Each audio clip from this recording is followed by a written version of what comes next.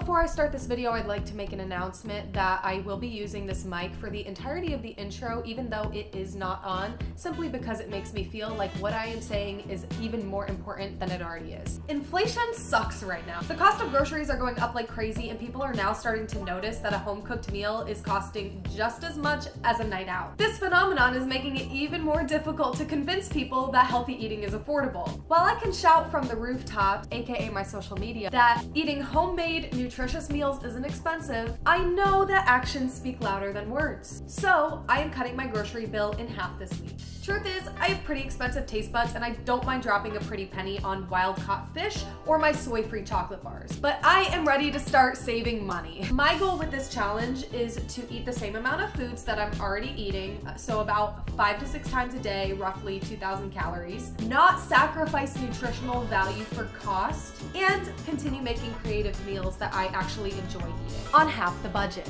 I'll be taking you grocery shopping with me so you can see the changes I'm making, and then I'll be taking you through each meal that I make this week breaking it down by cost per meal so you have an abundance of healthy recipes to reference when you want to do this for yourself. So let's take a look at my grocery expenses from my last shopping trip, which was two weeks ago. Keep in mind, I am shopping for two. I spent $62.16 at Publix, $92.54 at Thrive Market, and $205.14 at Sam's Club for a grand total of $359.84. Because I'm wonderful at math, so I will do all of it for you. That is $179.92 per person for two weeks. So uh, breaking it down further, that is $89.96 per week. That's not terrible, but I think we can do better. So when I go grocery shopping today, my goal is to stay at or below $90 across all stores for a week's worth of groceries. That's $45 per person. And for you, that may sound like a lot. For some, that may sound like absolutely nothing. It totally depends on lifestyle, budget, what you prioritize, all those things. The problem with that though is my boyfriend eats a lot and we're both very active, so we need a lot of calories. And calories are not cheap.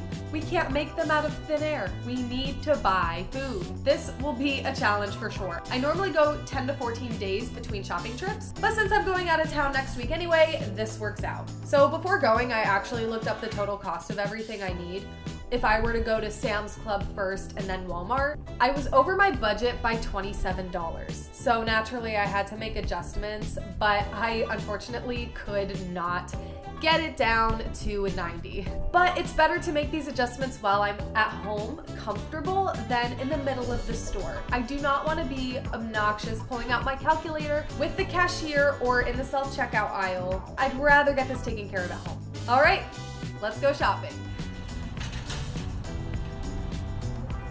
So, we've only been in here for two minutes and we're already arguing about the list I made because he doesn't have cereal on the list and he wants cereal for when he's lazy. But I'm telling him that I'm making all of his snacks and lunches for the week and I'm trying to explain that and he fought with me, but I won. So we're not getting cereal this time. It's just not on the meal plan and it's not in the budget. No? Because strawberries are starting to go out of season. So But I run out of raspberries so fast. Strawberries last me a long time. These ones are okay. Okay, then go with that. We can't get orange juice this time. I'm sorry. I'm sorry. They didn't have these last time. And I made my budget around them not having these. 650 for six? That's one, okay, that's $1 and eight each. That's still cheaper than Walmart. So we are getting two packs of these. That one has a dent in it. What day is it? We have plenty of time for these. Okay, so we got a week. Cukes, we're getting there. Kale, they don't have kale here.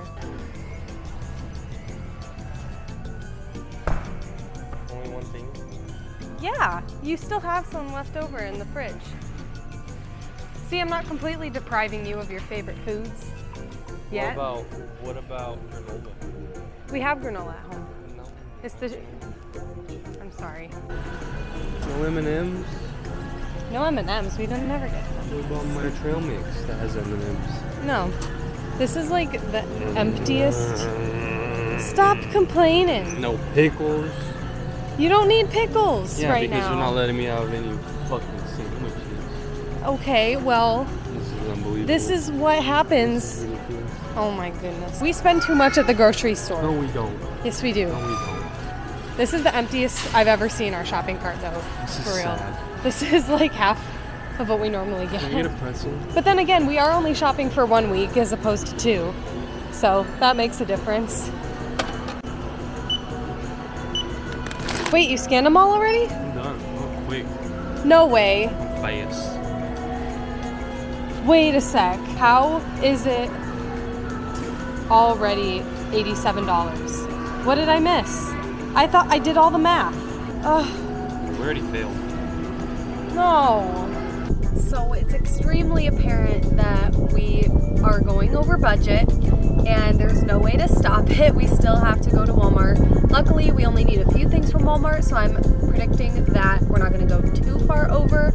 I did make adjustments before and I kind of also accepted at home that it would be more than expected, but it's fine. But I'm gonna focus on driving now, so. This is all we needed at Walmart. Very small shopping cart. And Joe is getting a lunchbox so he can actually take my lunches and snacks to work instead of starving himself. Easy stuff first. By the way. Select from list or key in the item's code. Okay, let's see how much I'm over. $14. Well, actually, only $12.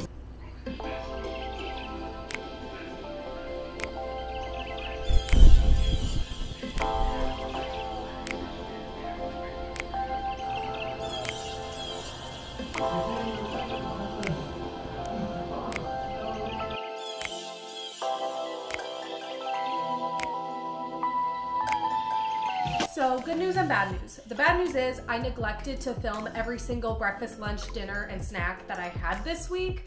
But the good news is I'm about to make it up to you. I thought it would be cool to show you the cost breakdown of all of my meals, but I figured it would be a little bit more valuable if I just gave you my meal plan. This is the meal plan that I created for myself going into this video. I do want to note that I didn't actually make every single meal in this meal plan because I ended up having so much food left over that I couldn't eat by the time I left for my trip.